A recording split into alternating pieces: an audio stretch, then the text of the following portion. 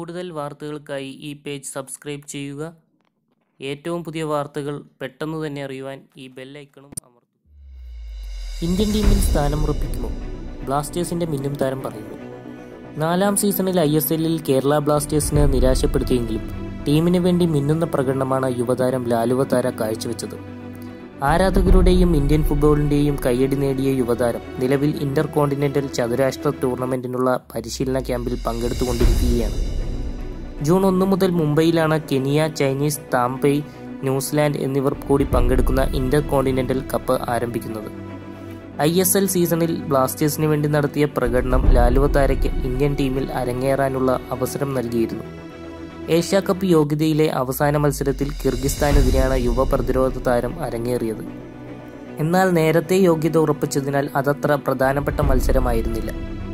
India മത്സരത്തിൽ രണ്ട് ഒന്നിന് പരാജയപ്പെടുകയും ചെയ്തു. ഇപ്പോഴിതാ ഇന്ത്യൻ ടീമിൽ സ്ഥാനമുറപ്പിക്കുന്നതിനെക്കുറിച്ച് സംസാരിക്കുകയാണ് ലാലുവത്താര വളരെ മികച്ച സീസണായിരുന്നു എനിക്ക് എനിക്ക്.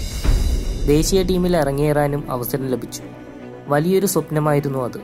എന്നാൽ ആദ്യ ഇലവനിൽ സ്ഥാനമുറപ്പിക്കുകയാണ് എന്ന് വളരെ ബുദ്ധിമുട്ടേറിയ കാര്യമാണ്. അതിനുവേണ്ടി മികച്ച അധ്വാനമാണ് നടത്തുന്നത്. പരിശ്രമങ്ങൾ വിജയം കാണുമെന്നാണ് പ്രതീക്ഷ രാജുവതാര പറഞ്ഞു. ഏഷ്യ കപ്പിൽ ഇന്ത്യയ്ക്ക് ഗ്രൂപ്പ് ഘട്ടം മറികടക്കാൻ കഴിയുന്ന പ്രത്യാശയും താരം പങ്കുവച്ചു. താരതമ്യേന എളുപ്പമായ ഗ്രൂപ്പിലാണ് നമ്മൾ ഏഷ്യ കപ്പ് കളിക്കുന്നത്. ഗ്രൂപ്പ് ഘട്ടം കടക്കാനാവുമെന്ന് തന്നെയാണ് കരുതുന്നത്. അതിനായി കഠിന കഠിനാധ്വാനം ചെയ്യുകയാണ് ടീം. യുവതാരം കൂട്ടിച്ചേർത്തു.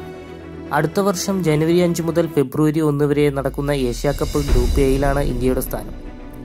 ആതിഥേയരായ U A E Thailand Bahrain എന്നിവരാണ് ഗ്രൂപ്പ് എയിൽ ഇന്ത്യക്കൊപ്പമുള്ളത് ജനുവരി ആറിന് തായ്ലാന്റിനെതിരെയാണ് ഇന്ത്യയുടെ ആദ്യ മത്സരം. ഈ വാർത്ത നിങ്ങൾക്ക് ഇഷ്ടപ്പെട്ടെങ്കിൽ ലൈക്ക് ചെയ്യാം. കൂടുതൽ വാർത്തകൾക്കായി സബ്സ്ക്രൈബ് ചെയ്യുക.